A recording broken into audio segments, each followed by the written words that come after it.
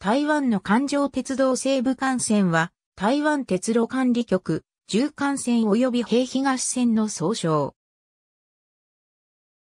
キールン駅3港駅か、千と駅7と駅、元福駅5と駅塩留駅塩岡駅、南港駅松山駅台北駅万華駅、板橋駅、木須駅樹林駅や前尾駅、福井すった駅、桃園駅マイナス内、駅中駅北新駅や松桃駅と三岡駅、新富駅北古駅古港駅から新豊駅竹北駅北新築駅、新築駅三聖京駅、か山駅、さき、頂駅竹南駅地区南駅、南分駅田分南信号場、大仙駅五流駅流港駅白砂島駅から新保駅通り、大空駅園里駅、日外駅大港駅、大中港駅清水駅砂鹿駅論鎮駅から大原駅大岩家駅から大原系、南信号場消化駅地区、南駅マイナス、つくり橋駅、甲府駅、内栗駅、南西駅虎駅、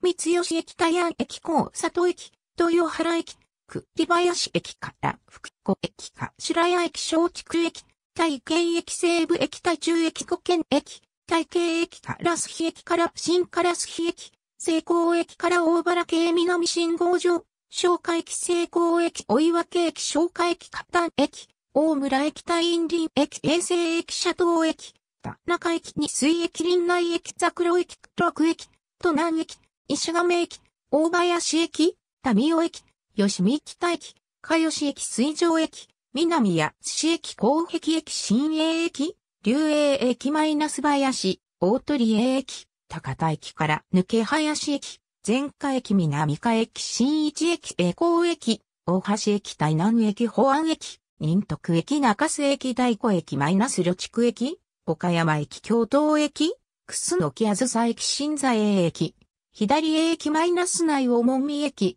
美術館駅鼓山駅三方丸、駅高尾駅高尾駅民族駅、マイナス加工館駅正義駅、大鳥山駅、五小駅から旧極道駅六方丸、駅平東駅嫌い駅、林楽駅西税駅竹田駅長州駅、頂駅、南州駅鎮安駅、林辺駅からよ冬駅東海駅、豊陵駅西部幹線は、台湾高速鉄道の開通によって、都市間輸送の乗客が激減することが予想されている。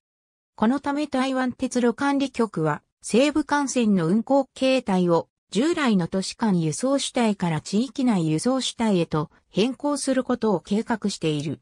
新駅の設置、鉄道設備の刷新などを柱とする、この変更を大鉄、都市運河と呼ぶ。ありがとうございます。